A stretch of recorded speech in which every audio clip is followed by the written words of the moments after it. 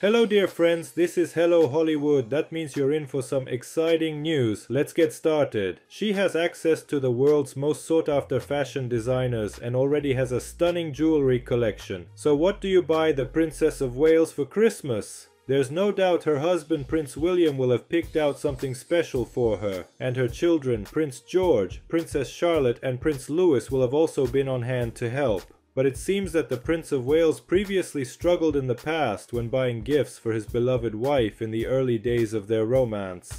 And he once admitted to getting her an awful present that Kate has never let him forget after it left her completely baffled. William admitted, I once gave my wife a pair of binoculars. She'll never let me forget it. It was early on in the courtship and I think that was the defining moment. It didn't go very well. To be honest, I have no idea why I bought her binoculars, but it seemed like a good idea at the time. It's well known that the royals prefer not to lavish each other with expensive, ostentatious gifts at Christmas time, instead preferring to give light-hearted joke presents.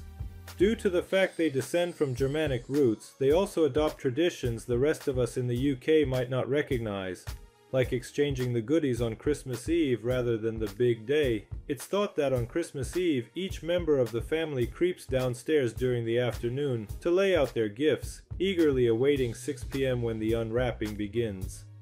Before the exchange starts, each person's gifts are cornered off in a specific pile before they're opened. Speaking of which, Kate made a witty joke about her brother-in-law Harry at Christmas by presenting him with a kit to grow his own girlfriend after he hit the headlines with a string of high-profile romances. That's all dear friends, share this video and leave your comments. Bye bye.